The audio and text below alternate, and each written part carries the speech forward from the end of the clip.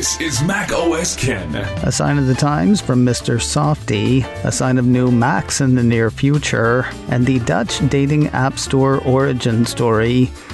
It is Tuesday, the 15th of February, 2022. I'm Ken Ray, and this is news from Mac OS Ken, brought to you by yours truly and sponsored by BetterHelp Online Therapy. Get 10% off your first month at betterhelp.com slash macOSKen. This show is also sponsored by SimpliSafe, the right way to protect your home. If you're like me, you spend a lot of time inside. Sort of makes it hard to see what's happening outside. Technology to the rescue in the form of the new wireless outdoor camera from SimpliSafe. It lets you see what's happening outside from inside right on your phone. Of course, SimpliSafe can keep an eye on stuff inside as well through indoor cameras, motion sensors, and hazard sensors like smoke and carbon monoxide detectors. And all of it monitored 24 7 by professionals ready to dispatch police, firefighters, or EMTs to your home. And installing all of it the wireless outdoor camera and the interior equipment is super simple. I had my sensors, base station, and keypad installed in well under an hour. Check it out for yourself. You can customize the perfect system for your home in just a few minutes at simplisafe.com slash macOSKen. Go today and claim a free indoor security camera plus 20% off with interactive monitoring. S I M P L I. Go to simplisafe.com slash macOSKen. Strange to start off with a Microsoft story that is not directly tied to Apple, but could be a sign of things to come. Engadget says Mr. Softy is planning to reopen a number of its corporate offices by the end of this month.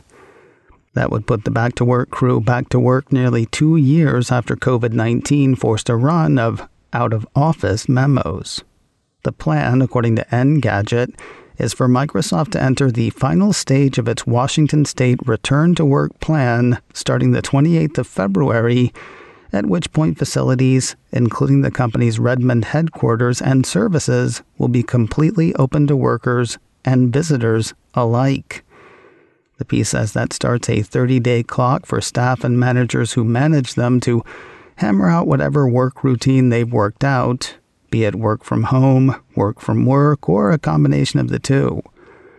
The same goes for Microsoft's presence in the San Francisco Bay Area, according to the report, those offices will also begin the reopening process on the 28th of February. Reopening around the rest of the country will happen as conditions allow, according to the software giant. I say it could be a sign of things to come. Engadget points out that Microsoft's schedule is more aggressive than other titans of tech. Facebook isn't planning for back to work at work until the 28th of March, Apple and others have indefinite delays, according to the report. Another hint of new Macs coming soon. Though nothing has been announced, we've heard rumors for the last week or so of an Apple product event in the first part of March. Speculation has the company announcing a 5G enabled iPhone SE, a new iPad Air, and maybe a new Mac or new Macs of some sort. Now there is support for that last one. Back in mid January, the company filed what appeared to be new iPads and new iPhones with the Eurasian Economic Commission, or EEC. Now, a piece from the Mac Observer says they appear to have done the same again with Macs. It's hard to know for certain what Apple has in store. While the company is required to register devices that employ encryption with the EEC ahead of their release, they can keep some information hidden. The reason we think there are iPhones and iPads on the way is because Apple has registered a number of devices that run iOS 15 and iPadOS 15.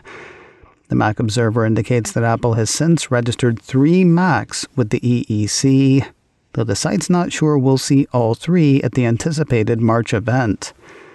One of the models registered is a laptop, and TMO has no problem believing we will see that. As for the other machines, while it's possible that they will be out as well, the Mac Observer thinks they could be held until this summer's WWDC or later, since Apple sometimes registers model numbers with the Commission up to a year ahead of release. The site says it's possible that one of these new computers might not appear until the fall. While rumors of new Macs abound, Apple started the week with updates for older machines, Mac Rumors says the company released macOS Big Sur 11.6.4 on Monday, as well as Security Update 2022 002 Catalina. While both are said by the company to be security updates, the Apple Security Updates page lists no vulnerabilities addressed, which is kind of random. Apple released an update for its support app on Monday with a pretty useful feature Mac Rumor says the company will ballpark the cost of run of the mill repairs in the application. Made for iPhone and iPad, version 4.5 of the app includes a My Devices section. If something's wrong with one of those, you can tap on it and access a few options. According to the report, tapping on common repairs like a cracked screen, a cracked back, or battery service will provide an estimate of what the repair might cost alongside options to book a repair. There are no cost estimates for more complicated repairs like liquid damage or camera not working as expected, according to the report. Apple's release notes say the application is now available and translated for users in Ukraine. It also includes unspecified performance enhancements and bug fixes. The Apple Support app is free the updated version is available now in the App Store. Foxconn is putting some of its money where its things are getting better in the supply chain mouth is. Apple's manufacturing partner issued a press release Monday announcing a joint venture to make semiconductors in India. The Taiwanese manufacturer is teaming with the India based multinational Vedanta to make chips on the subcontinent. The joint venture seems less about getting the world out of the current semiconductor shortage than it is about long term plans for India. Money lines from the press release include the first of its kind joint venture between the two companies will support Indian Prime Minister Narendra Modi's vision to create an ecosystem for semiconductor manufacturing in India. And the targeted project will provide a significant boost to domestic manufacturing of electronics in India. That said, you got to figure that semiconductor manufacturing anywhere is good for semiconductor supply everywhere. Eventually. No word in the release on when the joint venture will actually start cranking out chips. More news in a moment, but first a word from BetterHelp Online Therapy, sponsor of today's show. Whether it's going to the gym, making time for a haircut, or even trying therapy, you are your greatest asset. So invest the time and effort into yourself like you do for other people. You can do that with BetterHelp. BetterHelp is online therapy that offers video, phone, and even live chat sessions with your therapist, so you don't have to see anyone on camera if you don't want to. My last therapist and I would talk on the phone sometimes, but he was also great about checking in by text, just to see how things were going. Made it feel less formal somehow. It's much more affordable than in person therapy, and you can be matched with a therapist in under 48 hours. Give it a try and see why over 2 million people have used BetterHelp online therapy as I said before, this show is sponsored by BetterHelp, and macOS Ken listeners get 10% off their first month at betterhelp.com slash macOS Ken. That's B-E-T-T-E-R-H-E-L-P, betterhelp.com slash macOS Ken. Get 10% off your first month at betterhelp.com help.com slash macosken And thanks to BetterHelp for sponsoring today's show. News from the Netherlands that will shock no one. Apple Insider had the country's Authority for Consumers and Markets, or ACM, saying Monday that Apple's plans for third party payment acceptance in the Dutch App Store are unreasonable. In a statement released Monday, Apple Insider says the ACM complains about Apple's requirement for developers to create a specific version of their app to be submitted to the App Store if it is a dating app serving the Netherlands and is either linking users away from the app to facilitate an in app payment or is using a third party payment processor within the app itself. Well, when you put it that way, Apple Insider continues. The ACM says the revised conditions that Apple has imposed on dating app providers are unreasonable and create an unnecessary barrier. Since the policy demands a completely separate app to be created, rather than modifying an existing app to add the alternate payments, ACM finds it an unreasonable condition that is at odds with the requirements that Apple had set out. Having reached no acceptable conclusion, and it being Monday, that was another 5 million euros or $5.65 million on Apple's invoice from the Dutch. The Netherlands has said it'll fine Apple that amount every week that Apple is out of compliance until it hits the maximum allowed under the law there 50 million euros. Yesterday's added 5 brings the amount fined so far to 20 million euros we kind of missed the beginning of the whole Dutch dating app, app store thing around these parts. I'm pretty sure that's because it started on Christmas Eve. Philip Elmer DeWitt's Apple 3.0 ran a couple of pieces over the weekend about how the whole thing began. Bottom line, it began with Match Group. Match Group owns Tinder, Match.com, OKCupid, Plenty of Fish, and plenty of other dating apps. Match Group, by the way, also a member of the Coalition for App Fairness, which this time last year was lobbying a number of U.S. states, including North Dakota, Arizona, and Minnesota, to enact legislation to force Apple to allow third party payment methods in the App Store. The supposition of one Apple 3.0 reader is that the dust-up in the Netherlands is about finding a convenient venue to establish a regulatory precedent somewhere in the world. Above Avalon's Neil Cybart picked up on all of this a little bit earlier. Writing of the moves from Dutch authorities, he said, This order is not the byproduct of a multi year study into the App Store's impact on the Netherlands economy.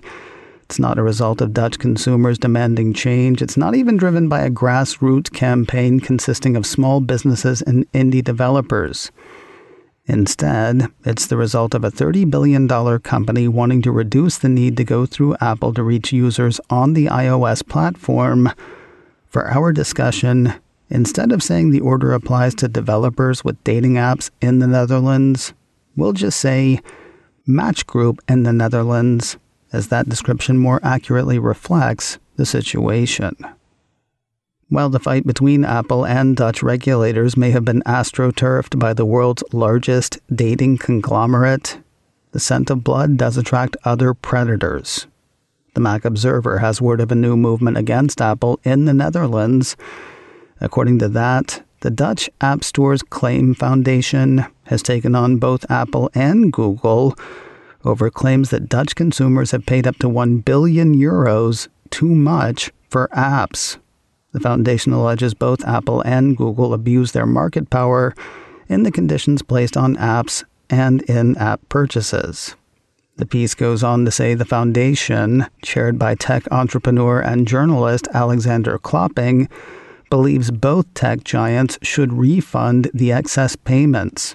Its argument stresses that Apple and Google couldn't charge such high commissions if there was more competition in the app marketplaces.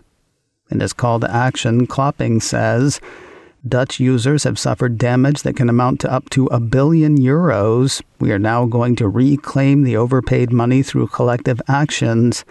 Together, we will ensure that Apple and Google play the game fairly from now on. Do you agree? And do you want the overpaid money back? Sign up now. They say they don't want to sue and are inviting Apple and Google to I don't know, discuss terms of their surrender, I suppose. Barring that, I guess Apple and Google could see the Dutch App Store's Claim Foundation in court at some point. It looks like Apple's prepping for a new store in the UK, its first in nearly a decade. 9 to 5 Mac highlights a report from Michael Steeber's Tabletops newsletter the site has the newsletter indicating that Apple has begun hiring for a brand new store in Greater London, which will be the first new store location in the UK since Apple Edinburgh opened in 2014. Oh man, we should go there. 2014? That sounds great. Steeber bases his expectation on some Apple job postings no word on where in London the new store will be, and no indication as to when it might open. And finally, today, whether it truly is an honor just to be nominated certainly seems to boost viewers. 9 to 5 Mac has the latest streaming charts from JustWatch. Last week, both the Apple TV Plus film Coda and the Apple TV Plus film The Tragedy of Macbeth made their way back into the streaming top 10. Not coincidentally, last week was also the week that both were nominated for a few Academy Awards, including Macbeth's Denzel Washington for Best Actor and Coda for Best Picture. The 2022 Academy Awards will be handed out on Sunday, the 27th of March. macOS Ken brought to you by me and sponsored by SimpliSafe. Get a free indoor security camera plus 20% off with interactive monitoring at simplisafe.com slash macOSKen. This show is also sponsored by BetterHelp Online Therapy. Get 10% off your first month at betterhelp.com slash macOS Ken. Advertising handled by Backbeat Media. Online at backbeatmedia.com. You can reach me a couple of ways info at macosken.com or call 716 780 4080. Until next time, that is news from macOS Ken. I'm Ken Ray.